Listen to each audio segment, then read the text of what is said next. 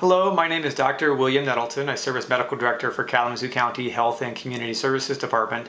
Here today to talk about why social distancing works and why do we do it. And it comes back to how COVID-19 disease is transmitted. And it is most likely transmitted by droplets. When you and I talk, speak, cough, or sneeze, droplets come from our mouth or our nose and go into the air, and it goes about six feet or so. Or if it touches a surface then you touch your face or your eyes, this is another way you may become infected.